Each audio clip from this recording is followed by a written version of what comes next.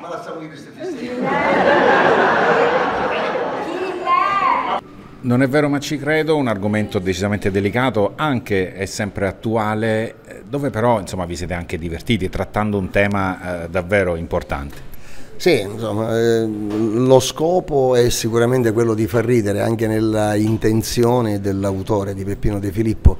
È chiaro che poi eh, la storia del mondo dello spettacolo, del mondo del lavoro, la storia della, della società a volte eh, ci ha mostrato situazioni, momenti, ma più che tragici, che hanno, che hanno rovinato in maniera definitiva personaggi, cantanti, attori, o ripeto anche della società, di qualunque settore, per la stupidità umana, per queste cose qua, insomma. E lo diciamo poi alla fine a bocce ferme, a motori spenti, quando abbiamo finito di fare i ringraziamenti eh, per il plauso del pubblico, io non perdo occasione di dirlo che l'argomento è delicatissimo e che bisogna, ma neanche per scherzo bisogna dirli, perché poi c'è qualche cretino che eh, punta l'orecchio su questa cosa, magari ne parla, ne riparla, lo dice delicatissimo certo.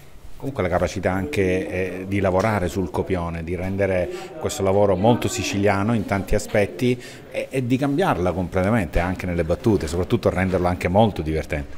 Sì, no, ma, eh, Peppino no, non era certo un grandissimo autore, era un grandissimo autore, il più grande della famiglia di Filippo a mio modo di vedere, però certo nella scrittura, nella drammaturgia non era certamente Edoardo. E allora diciamo che è un peccato veniale, non è un peccato mortale. Ecco.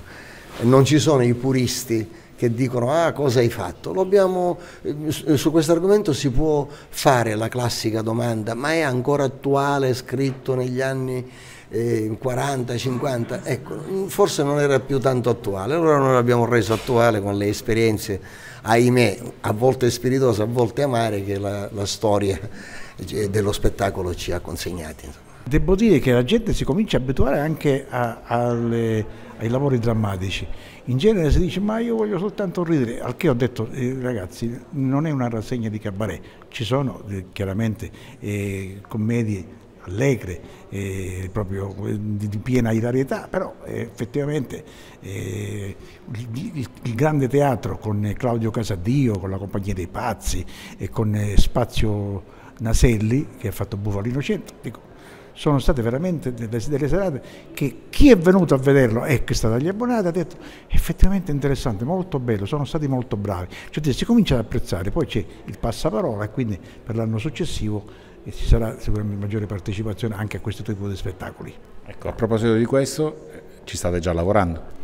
No, c'è già pronta questa sera, abbiamo, da, abbiamo dato il volantino con la prossima rassegna, abbiamo Pino Insegno, abbiamo attori di un certo livello, Michele Lupano, abbiamo veramente una, una stagione di, di alto livello.